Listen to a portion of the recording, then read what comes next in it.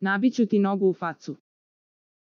Miki Đuričić poludeo nakon reči MC Damira, mene si našao da lažeš MC Damiro pričao je o svom školovanju, privatnom životu i karijeri sa Mikijem Đuričićem u dvorištu zadruge. Međutim, popularni pčelar iz Kupinova nije poverovao u reči svog sagovornika.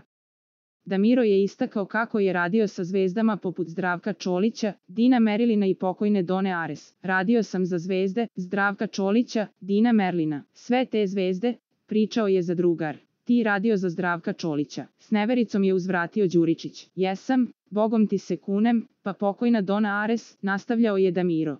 Miki je već popustio sa živcima kada mu je Cimer rekao da je završio muzičku i školu glume. Vidi kako mi ova noga radi, ako te nabijem ovom nogom u tu facu. Maršu P, asterisk čku materinu lažljivu, zaurlao je pčelar.